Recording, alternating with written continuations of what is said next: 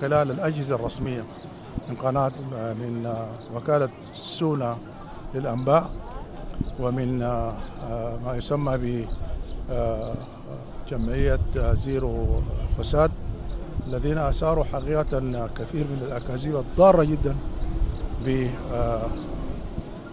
برموز من رموز النظام السابق واتهموهم بأموال طائلة حولوها إلى ماليزيا وإلى غيرها.